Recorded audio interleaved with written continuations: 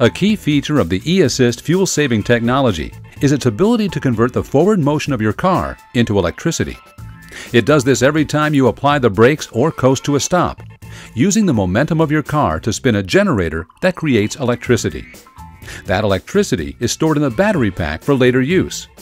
It's a process called regenerative braking, but we like to think of it as recycling your energy, kinetic energy that would otherwise be lost without the motor generator and advanced battery pack.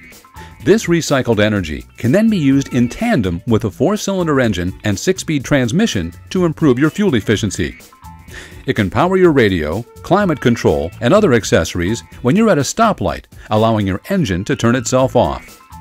It will also instantly restart your engine automatically and help launch your car when you take off again. And it can even provide an extra boost when you're accelerating on the highway. With regenerative braking, the 2012 LaCrosse is able to recycle your energy and help you consume less fuel when you drive.